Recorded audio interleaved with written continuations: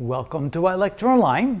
In this video, we're going to explore the difference between the time domain versus the frequency domain circuit. And the main difference between the time domain and the frequency domain is when we go to the frequency domain, we're basically dealing with phasors. When we're going to the time domain, we're dealing with the voltage and the current as a function of time. So we're talking about sinusoidal kind of functions in this case. And here we're talking about looking at the circuit via the phase diagrams. So when we calculate the transfer function in this particular instance, where we have a capacitor and a resistor coupled, or not coupled, but connected to a input voltage, we can then calculate the transfer function by realizing that it's going to be the ratio of the output voltage over the input voltage. The output voltage is across the capacitor, the input voltage across the whole circuit, the resistor and the capacitor, knowing, notice then when we go to the phase components of that, the output voltage is going to be 1 over j omega c, and the input voltage is going to be the sum of the resistance and the reactance of the capacitor.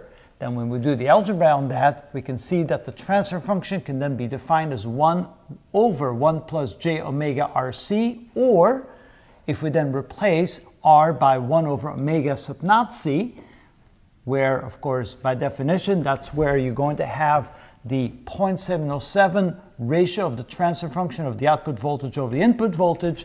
We can then have the transfer function being equal to 1 over 1 plus j times omega over omega sub naught. Now notice that if omega sub naught is defined as 1 over rc, then the time constant is rc, so basically omega sub naught is the inverse of the time constant of the circuit. Now also notice we can calculate the magnitude of the transfer function and the phase angle of the transfer function. Now notice I bold faces h because h is actually in the frequency domain and of course we use phasors for that. And so when we talk about the magnitude of the transfer function that is equal to 1 over the square root of the two components squared, the 1 squared plus omega over omega sub naught squared. This is of course due to the resistance. This is the ratio of the frequency of the circuit to omega sub naught, where omega sub naught is 1 over the time constant.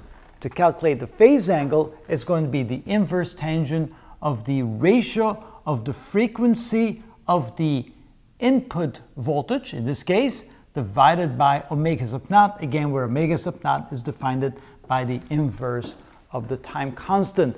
So hopefully that will give you a good insight in what the transfer function is in this particular example. Notice it's simply calculating the output voltage divided by the in input voltage in the phasor domain called the frequency domain. And so that's the difference between the time domain and the frequency domain in a circuit. That's how it's done.